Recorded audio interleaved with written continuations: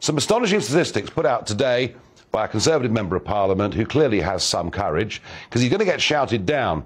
And it is a real what the Farage moment. It is about the pace and rate of demographic change within this country as a direct result of illegal and, of course, legal immigration. I was quite surprised by these figures. I wonder what you think. 35% of state school pupils in England aren't white British, up from 20% in 2007. And now the one that really shocked me 20% of those in state schools don't have English as their first language. And that's perhaps why, as you drive through London, increasingly you see signs, road signs, not just in English, but in a whole series of other languages too.